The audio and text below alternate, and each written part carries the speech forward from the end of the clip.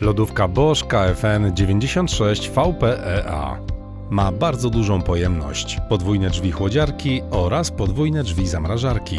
Szerokość 91 cm przekłada się na dużo miejsca na żywność dla całej rodziny. Technologia inwerterowa zapewnia cichą pracę, trwałość oraz niskie zużycie energii. Czujniki stale monitorują temperaturę, a wykryte zmiany są natychmiast przekazywane do układu elektronicznego.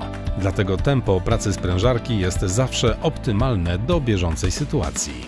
Strefa Vita Fresh to duża przestrzeń do przechowywania świeżej żywności. Utrzymuje temperaturę niższą dla mięsa i ryb oraz zapewnia odpowiednią wilgotność owocom i warzywom w szufladzie.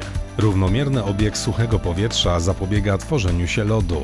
W rezultacie na tylnej ściance lodówki nie gromadzi się lód, a szuflady zamrażarki można zawsze łatwo otwierać i zamykać. Funkcja eliminuje też konieczność ręcznego rozmrażania. Tylna ściana High Glossy Backwall wraz z technologią Multi Airflow sprawiają, że zimne powietrze jest równomiernie rozprowadzane na wszystkich poziomach, a w całej chłodziarce utrzymywana jest stała temperatura. Funkcje super chłodzenia i super mrożenia pozwolą Ci szybciej schłodzić napój lub przyspieszyć mrożenie np. kostek lodu.